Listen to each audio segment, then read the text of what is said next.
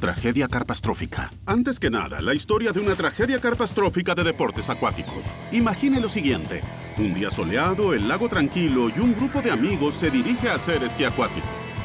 El esquiador se desliza a 40 kilómetros por hora cuando súbitamente la superficie del agua erupciona. Carpas plateadas vuelan por el aire. Incapaz de esquivar el bombardeo, el desventurado esquiador choca con un pez de un kilo justo en la mandíbula. La pregunta es, ¿podría ser un accidente mortal? Parece imposible hacer esquí sin ser golpeado por al menos una. Ya podemos ver de dónde proviene este mito. Sí, y para empezar sabemos que tenemos un esquiador que iba a 40 kilómetros por hora y es golpeado por una carpa de un kilo que le quiebra el cuello. Sí, pero si miras bien, estas carpas no saltan recto, sino en ángulo. Así que es un poco más de 40 kilómetros por hora. Bueno, miremos estos videos y calculemos qué tan veloces son estos peces saltando fuera del agua. Para eso, los muchachos toman un pez volador. Oh, mira ese. Perfecto. Miden en pantalla qué tan lejos salta Hay una referencia de altura para la distancia. y multiplican la escala para obtener la distancia real. Espera. Luego utilizan la cantidad de cuadros por segundo del video para conocer la velocidad horizontal del pez saltarín. Analizando nuestro video cuadro por cuadro, lo que vemos es que cuando la carpa llega a la altura de la cabeza, son 16 kilómetros por hora adicionales de impacto. Tomaremos los 40 kilómetros por hora del esquiador, los agregaremos a los 16 del pez y eso da 56 kilómetros por hora de carpa en la cara. La siguiente tarea de John es diseñar un soporte que dispare una carpa de un kilogramo a esta velocidad de impacto. Una estructura de cuatro guías. El carro para la carpa irá por dentro. Unas correas irán del cuadro al carro. Pondremos un pez, jalaremos y ¡pam! Todo un éxito. Hasta ese horrible accidente de esquí. Comenzaremos a 60 psi e intentaremos programar esto a los 56 kilómetros por hora. Prueba de cañón de pez de un kilo en 3, 2, 1. ¡Uh! Dio contra el escudo trasero. ¿Fueron 56 kilómetros por hora? Veámoslo en el video. ¡Oh! Es un pez muy rápido. No puedo ver qué parte del pez es la delantera y qué parte la trasera. Es. es una bola de carne. ¿Pero fue lo suficientemente rápido? Eso es 186 kilómetros por hora. Deberíamos reducirlo un poco. Solo un poco. Al preparar el cañón de carpa con menos presión de aire, la velocidad inicial del pez debería disminuir. Vamos a probarlo. La pregunta es, ¿cuánto? Cañón de pez a 40 psi en 3, 2, 1. Aún parece rápido. Y el registro de alta velocidad confirma que la carpa aún va muy rápido. Con 60 psi tenemos 186 kilómetros por hora. A 40 psi obtenemos 100 kilómetros por hora. Así que 35 psi intentando obtener 56 kilómetros por hora en 3, 2, 1. Eso se vio más suave. Creo que se vio adecuado. Y esta vez el cañón dio con la medida justa. Hicimos la prueba a 35 psi y por sorpresa obtuvimos 56 kilómetros por hora. Así que eso es lo que usaremos para conseguir los 56 kilómetros por hora en el agua. 35 psi. ¡Ahí vamos! Esta es la presión requerida para disparar un pez del cañón a una velocidad inicial de 56 kilómetros por hora. Ahí está. Y ya que el cañón se mueve a la misma velocidad que el esquiador acuático Buster, ¡Aquí vamos! ¡Cargando el pez! 56 kilómetros por hora también será la velocidad de impacto cuando el pez encuentre la cara anatómicamente correcta. ¿Listo? Sí. Muy bien. Ap- Apunta bien, allí vamos. Un pez a 56 kilómetros por hora. Se dispara en 3, 2, 1. ¡Oh! Buen tiro, sí, buen tiro. El alimentador balístico impulsa un sólido golpe al cuerpo, pero recuerden, la colisión en el mito fue entre pez y rostro. No llevaremos a Buster hasta la orilla aún para chequear su cuello porque creemos que el pez dio en su pecho y luego rebotó. Así que vamos a recargar y volver a disparar. ¿Listo? ¡Listo! Pez de un kilo, 56 kilómetros por hora hacia la cabeza de Buster. ¿Listo? En 3, 2, 1. ¡Oh! Nuevamente, Buster recibe la mayor fuerza del impacto en su pecho, antes de que la carpa dé en su mentón. Disparamos un par de peces, pero no dimos en el lugar correcto. Dimos en el pecho y justo debajo del mentón. Necesitamos una en la cara. Vienes apuntando perfectamente, solo un poco más alto. ¿Justo en la frente? Justo en la frente. Justo en la cara. ¡Tres! ¡Dos! ¡Uno!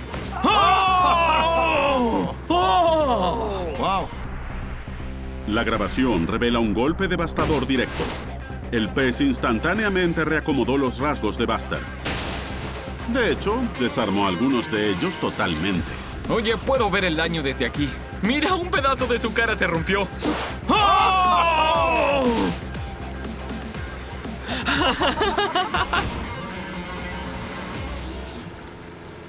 Disparar peces con esto fue mejor de lo que esperaba. Los 35 PSI nos dieron esos 56 kilómetros por hora que estábamos buscando. Y la exactitud fue fantástica. Creo que soy el campeón mundial en precisión de disparo de peces. De regreso a la orilla, es hora de ver si las lesiones de Buster son fatales. Huele a pescado. Los paramédicos solemos quitar toda la ropa para buscar lesiones adicionales. Hoy solo quitaremos la cabeza y veremos el cuello. Muy poco convencional. Sé que estamos a pleno sol, pero puedes ver que esa vara brillante en el interior está rota. Oh, sí. Recuerden, colocamos la vara brillante en la espina dorsal para buscar lesiones. Pueden ver estas dos partes. La base de las cervicales está totalmente rota. Y hay una decapitación interna en la base del cráneo. No estará esquiando pronto y... Creo que tampoco cobrará vida pronto. Bueno, los fans vieron que si bien replicábamos correctamente los clavos de las películas, Aquí vamos. Tetraédrico y puntiagudo. También notaron que sacarían mucho más aire de los neumáticos si fueran huecos. Eso tiene sentido. Es fácil de probar. Lo sé, hay que probarlo. Los clavos huecos deberían ser una mejor herramienta de escape. Pero ¿detendrán el auto de una vez todas las veces? En el episodio de Autos Espías, los clavos eran así, como este. Pero los fans nos dijeron que los quieren huecos, entonces usaremos esto. Esto es un tubo de acero hueco. Lo voy a usar para armar algunos clavos huecos. Podría doblar, cortar y soldar cada clavo, pero soy un gran admirador del proceso de línea de montaje. Perfecto. Oh, no es perfecto. Así sí. Como pueden ver, doblar es el primer paso en mi línea de montaje de estos clavos. Es el primer paso de cuatro. Me fascina la herrería. ¿Cuál será el próximo paso? Paso 2 de mi línea de montaje. Cortar. Sierra de banda portátil. La hoja se mueve a 100 metros por minuto. Ahora, hay dos mitades de un clavo y así se hace. Así es como funcionará esto. Corto algunos, los sueldo y... ¡Boom! Tenemos un clavo hueco. Con Adam ahorrando tiempo por la ciencia, pronto tendremos éxito. Ahora, si fuese un policía haciendo clavos el fin de semana, las dejaría de este color para que se confundan con la carretera. Pero estamos haciendo un programa de televisión, entonces quiero que sean de color. El paso 4 es pintarlas de un rosa fuerte para que las veamos en cámara. Ah, sí, miren esto. Tan bellas. Vale la pena explicar por qué el clavo tiene esta estructura. ¿Por qué dos ángulos de 90 grados se unen perpendicularmente en el centro? Bueno, es porque al hacer eso obtienes una estructura tetraédrica. Un tetraedro es un polígono regular de cuatro lados, uno de los platónicos sólidos. En términos sencillos, significa que una punta siempre mira hacia arriba, lista para perforar el neumático. El plan es muy simple para un día de autos de los cazadores de mitos. Se trata de manejar... Y de un poco de caos. ¡Wow! Se trata de una pista de medio kilómetro que comienza en línea recta. El último. Jamie manejará por esa línea recta en una camioneta a 65 kilómetros por hora y yo voy a perseguirlo a tres autos de distancia. En un momento, tirará los clavos en la pista y hará un giro en U y conducirá por una serie de curvas. Obviamente, al perseguirlo, voy a pisar los clavos y debo seguirlo en el giro en U y por las curvas lo más cerca que pueda, en el caso que pueda lograrlo. El objetivo es ver qué tan bien funcionan los nuevos clavos huecos comparados con los viejos. Y sin duda, los clavos huecos perforarán los neumáticos, pero harán que el auto se frene inmediatamente como muchos piensan. ¿Una predicción? Tengo mucha experiencia manejando autos fuera de control en este programa. Y ustedes lo saben. ¡Jamie! Y mi predicción es que hoy voy a ganar un poco más de experiencia. Pero les digo la verdad, creo que estos clavos desinflarán mis neumáticos muy fácilmente y aunque quizá pueda hacer el giro en U después de pisarlos, no creo que pueda hacer las curvas, pero estoy muy ansioso por intentarlo. ¿Estás listo, Adam? Estoy listo, hagámoslo. Ok, clavos en la pista en 3, 2, 1, ya. Oh, y esto será divertido. Ok, tomamos velocidad. Jamie tiene sus clavos listos. Aquí vienen.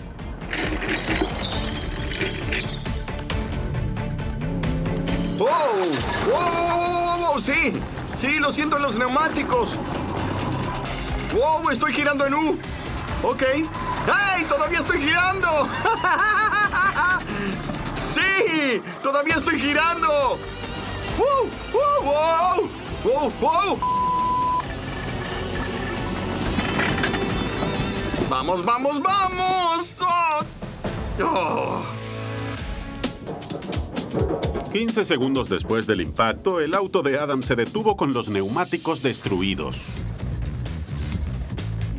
Una de las cosas que noté en este diseño es que si se clavan en el neumático, forman un tubo por el cual se escapa el aire, desinflándolo muy rápido. Pero si el neumático se mueve a mucha velocidad, pueden soltarse. Y en vez de dejar un agujero pequeño que se cerrará como con los clavos sólidos, recortarán un tapón de goma que queda adherido al clavo. Es estupendo.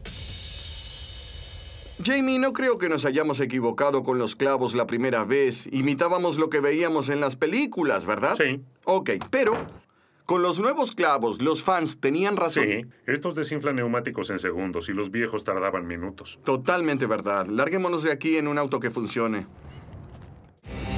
En la película Jonah Hex, cazador de recompensas, nuestro héroe saca una ballesta de mano que enciende y luego dispara varios cartuchos pequeños de dinamita. Pero, como en la película, ¿un arma así sería efectiva entre 3 y 9 metros? ¿Y el tirador sobreviviría a la explosión? Con la dinamita cuidadosamente cargada y un soporte a control remoto listo para funcionar, el equipo se dirige a las colinas. ¿Qué crees que quiere ese tipo sospechoso? No lo sé, pero no me gusta.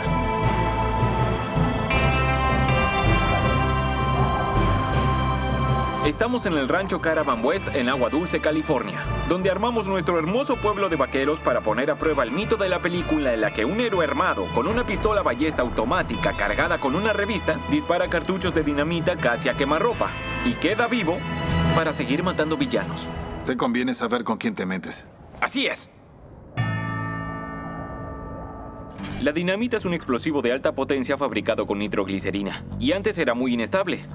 En la actualidad, gracias a los aditivos, es más estable, pero muy, muy volátil. No puedes entrar en una tienda y pedir dinamita. Es por eso que tenemos al experto en explosivos Jesse, que se ocupará de eso. Mientras Jesse prepara la dinamita y el departamento de bomberos prepara la zona, Brian y John se disponen a recopilar datos. Tres metros. Esto es un disco de ruptura y está calibrado para romperse exactamente a 10 PSI. Recordarán que cuando pusimos a prueba el Ublek, descubrimos que 10 PSI es la máxima presión que puede resistirse ante una explosión. Así que colocaremos un disco de ruptura junto a cada uno de los malos que hacen de blanco. 6 metros, 9 metros y uno junto a la ballesta que representa nuestro tirador. Listo. Si este disco se rompe cuando explote la dinamita, bueno, nuestro tirador quedaría desintegrado y eso no es bueno para el mito. Sí, el mito tiene dos componentes. ¿Es efectiva una pistola ballesta para eliminar blancos a una distancia de entre 3 y 9 metros? ¿Y sobreviviría el tirador? Oh, rayos. Me siento muy nervioso. Mucho más nervioso que otras veces. ¿Cuerda lista? ¿La encendemos? Ahí vamos. Bueno, contaré hasta tres. Estoy listo. Ok. Prueba final con la pistola ballesta explosiva y tres, sí, tres cartuchos de dinamita. En tres, dos, uno. Oh, rayos. Ahí Se está. encendió. Lista para disparar. Listo para disparar. ¡Ya! ¡Fuego! ¡Fuego! ¡Boom! Oh, rayos, ahí vamos. ¡Oh! ¡Vaya!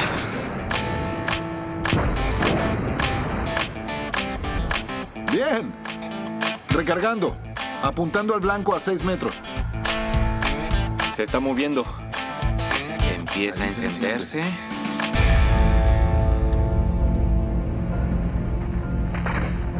¡Oh! Ahí va. Algo se quema. ¡Oh, rayos! ¡Oh, rayos! Se encendió la de abajo. Uh, algo se quema.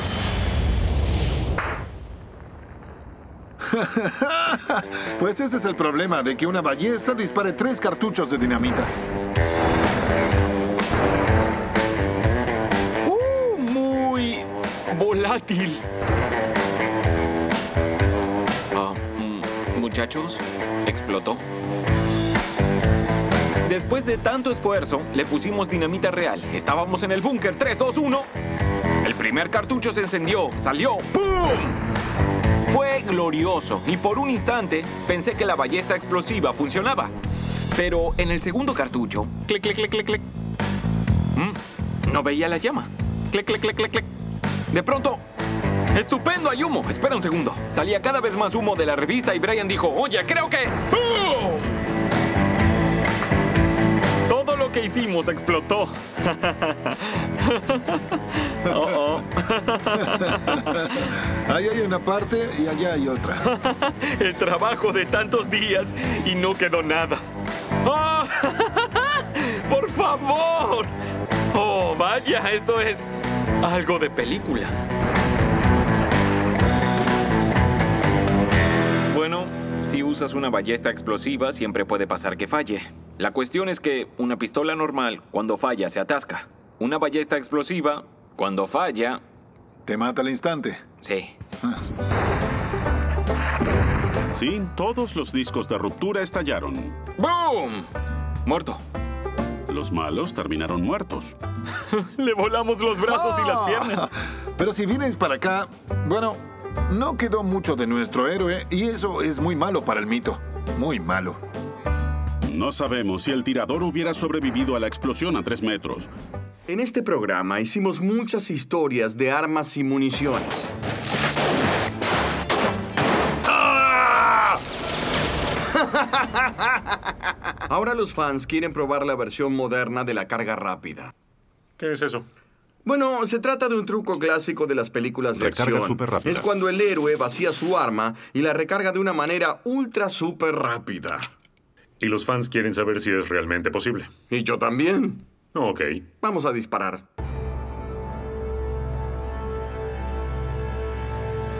Cuando se trata de disparo fácil, Jamie y Adam tienen experiencia.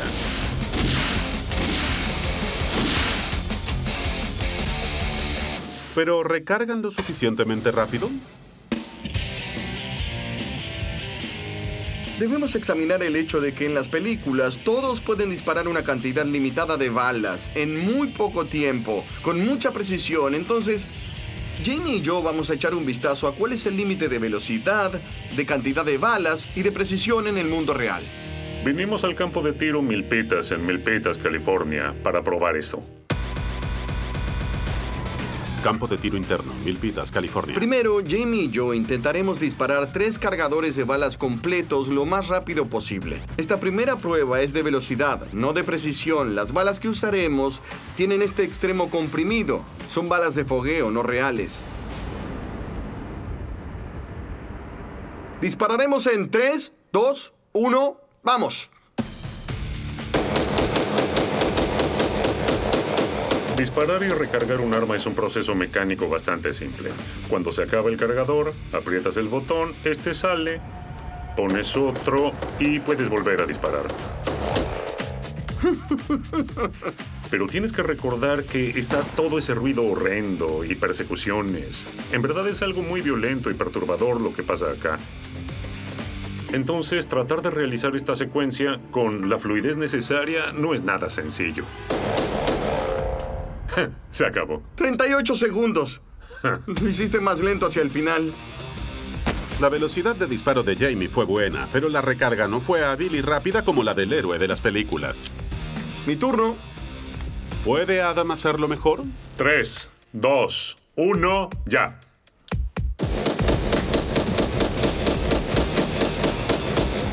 En el historial de cosas que aprendimos haciendo cosas que no hacemos normalmente, esto está primero en la lista.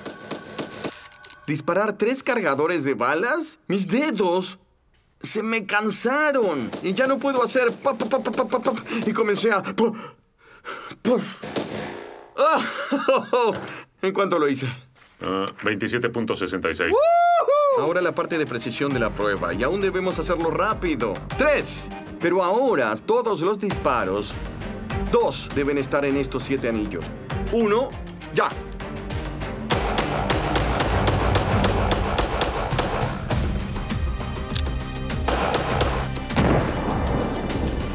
Bien hecho, mejoraste tu tiempo, 33 segundos. Un poco más rápido, pero desde corta distancia Jamie falló varias veces con un blanco inmóvil. Ah, parece que hubo tres disparos que no dieron en el blanco. Y cuando Adam también falla, con un tiempo apenas mejor que el anterior. Listo. La representación mítica de Hollywood de la recarga del arma parece pura ficción. Con los años, Adam y yo adquirimos cierta experiencia con armas. Pero no somos un parámetro adecuado cuando se trata de disparar y recargar un arma. Pero conocemos a alguien que sí lo es, y es Travis Tomasi. Ya.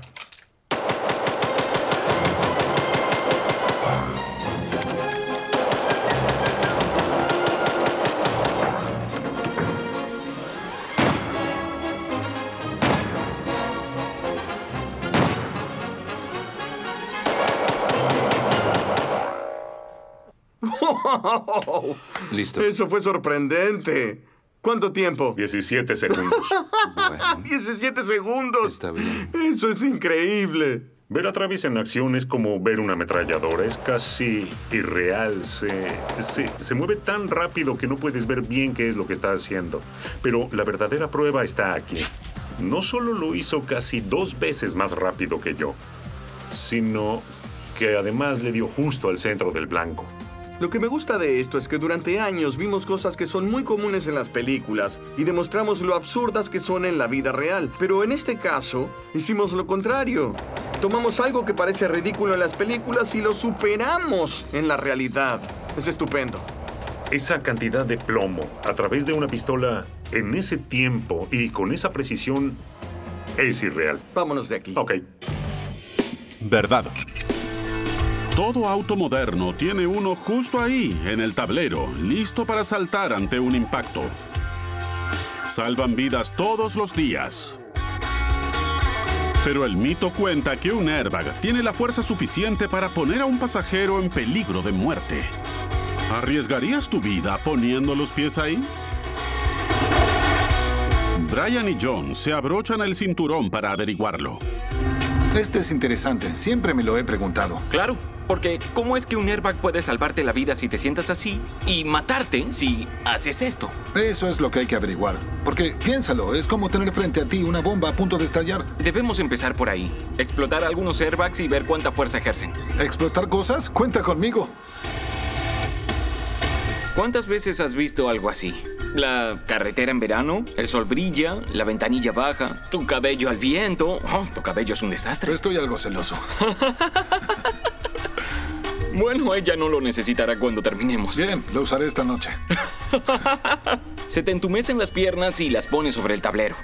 Pero ¿qué pasa si tienes un accidente a baja velocidad a 40 kilómetros por hora y el airbag se activa? Choquemos el auto. Hagámoslo. Los preparativos para la prueba preliminar están listos. El airbag estará controlado de forma remota para responder como si participara en una colisión a baja velocidad. Y el auto está equipado para que las cámaras capten una buena imagen. Creo que estamos a punto de ver yoga extremo. Así. Pies encima del tablero en 3, 2, 1. Vi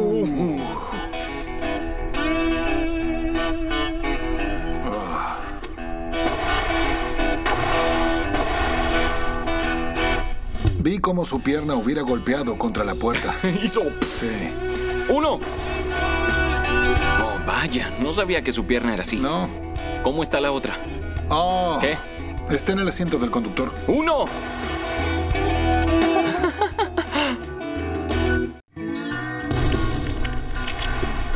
Ah, Por favor.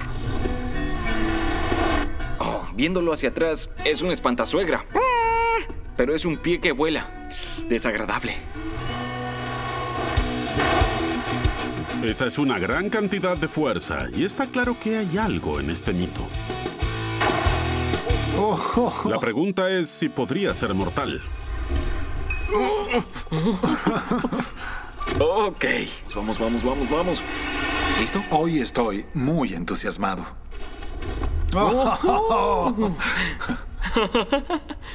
Este es un sindáver. Un cadáver humano sintético. Aquí tiene, señor. No puedo creer que podamos contagiarnos infecciones al tocarlo con nuestras manos. Y lo que lo hace tan preciso es que cada fibra de los músculos aprieta los bíceps. Se sienten los músculos como reales, individuales, uno encima del otro. Cada hueso. Oh, ¿tocaste el cráneo? Cada arteria y vena que hay en un ser humano. Estilo Frankenstein. Dame los cinco. Para averiguar si poner los pies sobre el tablero hace que corramos un peligro mortal por la activación de los airbags, Brian y John tuvieron que montar un choque automovilístico sin conductor. Eso bastará. ¿Sí?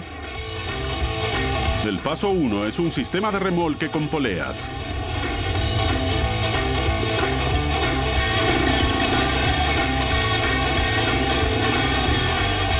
Esto lo sostendrá. ¿Listo, chicos? Paso 2, el chocado. Paso 3, el que choca. Despacio.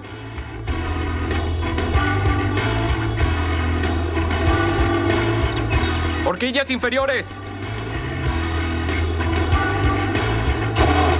Vamos a instalar un yugo para remolque en el auto. Ups. Líquido limpiador. Esos son dos brazos soldados desde adentro del brazo de control de una viga, con un cable para remolque conectado en el centro.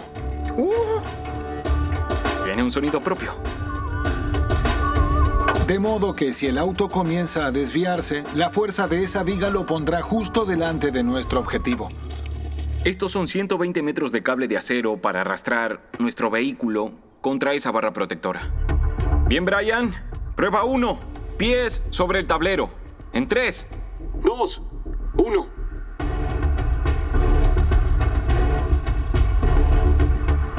¿10 kilómetros por hora? Hasta ahora se ve bien. Oh, ¿Se está desviando? 20 kilómetros por hora. 40 kilómetros por hora. El auto hace...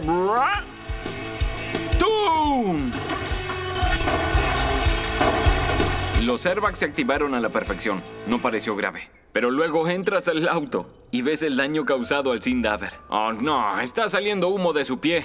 ¡Vamos! Su pie colgaba del tablero. Le arrancó la piel. Tiene una dislocación completa del tobillo y eso es solo lo que veo desde acá. Es asqueroso, pero nos damos cuenta lo bueno que es tener un Sindaver para nuestras pruebas.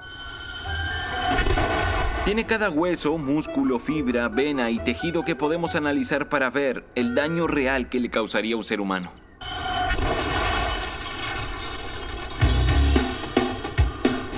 Pero antes de que los muchachos envíen al paciente a hacerse rayos X, el señor Boomer toma su turno al volante. Esta vez nuestro caballero descuidado tiene los pies contra el tablero. Creo que esta es la mejor oportunidad de hacer daño. Rodillas arriba, sobre el pecho, apuntando la cara. 10 kilómetros por hora. 20 kilómetros por hora. Estás volando, Brian. 40 kilómetros por hora. Eso fue perfecto.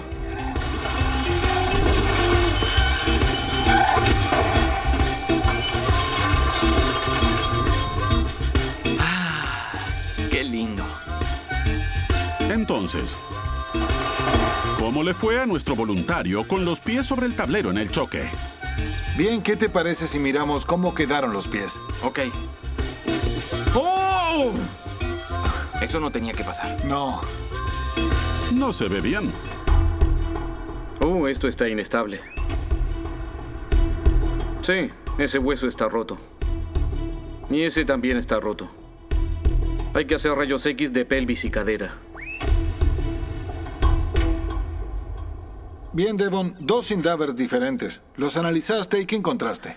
Bueno, ambos tienen lesiones graves en los tobillos. En cuanto a la paciente femenina, como pueden ver, tuvo una fractura de tobillo grave, lo que a veces llamamos una fractura expuesta. Esa lesión no es mortal. El paciente masculino tiene una lesión similar. Pero ninguna es mortal. Bien, con lesiones, pero no son mortales. No son lesiones mortales.